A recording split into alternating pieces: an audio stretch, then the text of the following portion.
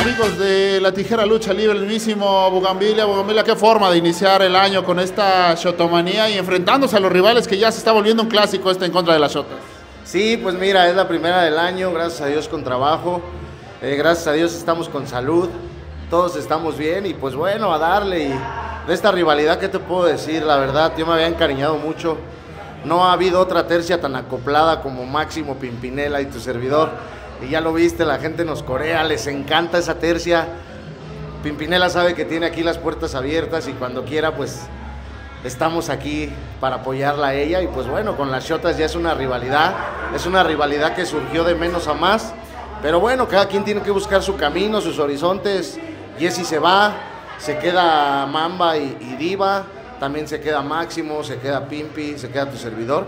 Y pues bueno, ya sabes que aquí en la lucha libre es la casa del jabonero, nos podemos volver a encontrar y pues yo creo que esta rivalidad no va a pasar de moda, ¿no? Cerró de extraordinaria manera 2023 que viene para Bougainville en lo personal, pues lo dices también con, con tus compañeros, con Máximo, la parte de New Exotic, ¿qué viene para 2024? Pues bueno, ahorita yo creo que ya va a ser sentarse a pensar muchas cosas.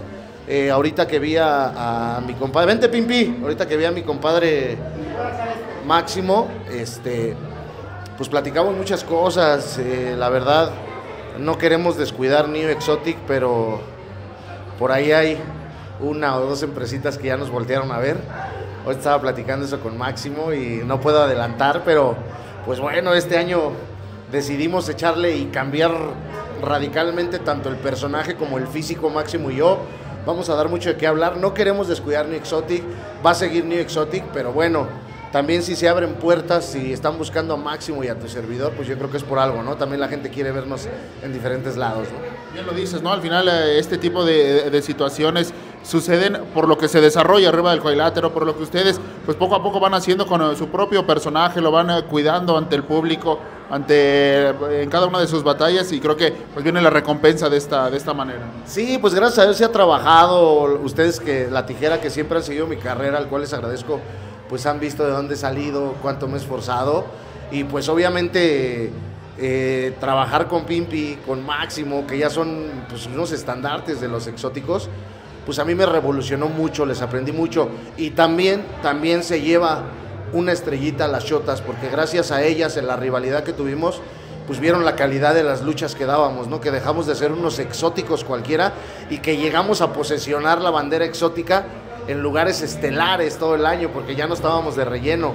Llegamos a estelarizar estos años pasados muchas empresas y muchos lugares y pues bueno, gracias a eso ahí está Jesse, ya se, ya se va a una empresa fuerte. Y pues bueno, lo único que le puedo decir es que Máximo y yo te podemos alcanzar en una empresa o te podemos competir con otra empresa. Pues que vengan muchísimos éxitos en este 2024, como siempre agradecer muchísimo tu tiempo y tu apoyo, Bugambilia. No, gracias a ustedes, gracias a la tijera y pues bueno, sigan también a Neo Exotic, sigan las redes sociales, vamos a seguir trabajando con Neo Exotic o poder hacer colaboración con la nueva casa que nos están hablando eh, para que trabaje con Neo Exotic, ¿no? Muchísimas gracias, Consejo. Gracias a ustedes.